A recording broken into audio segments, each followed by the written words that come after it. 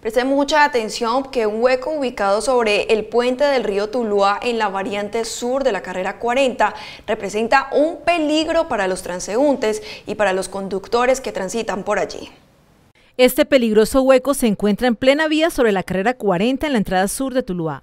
Las autoridades de tránsito y gestión del riesgo ya se apersonaron del tema tras la denuncia de la ciudadanía a través de redes sociales.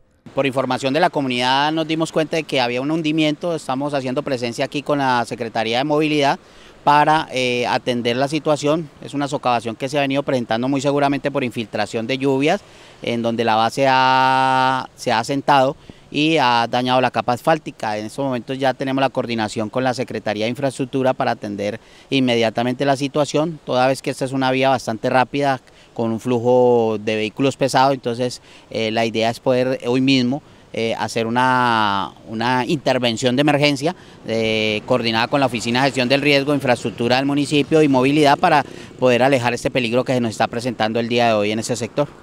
La vía es de carácter municipal y por lo tanto será atendida para su restauración en este punto crítico.